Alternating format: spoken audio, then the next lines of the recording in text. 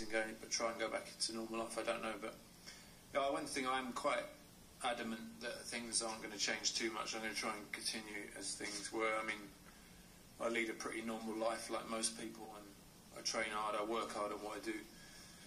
But ultimately, I'm very normal in my life, aside from cycling, and I'm not a celebrity. I will never be a celebrity. I don't consider myself a celebrity.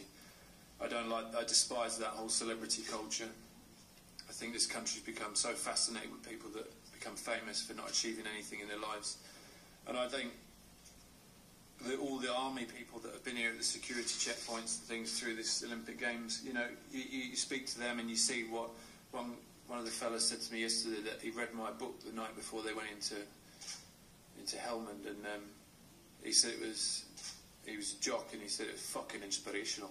And uh, you know, for, for someone like that to say that to you, I think that that summed it up to me because that was. Um, because you know those kind of people are real heroes. What they have to go through, and this is just sport, and it's it's nothing. It's a different world, you know. So so that's that's sort of more humbling, really. And I think that that that's kind of keeping that rea- check of reality of what this is. At the end of the day, we're sportsmen, we do what we do, and it's fantastic. But there are other things out there in the world that are far more important than what we're doing on this stage.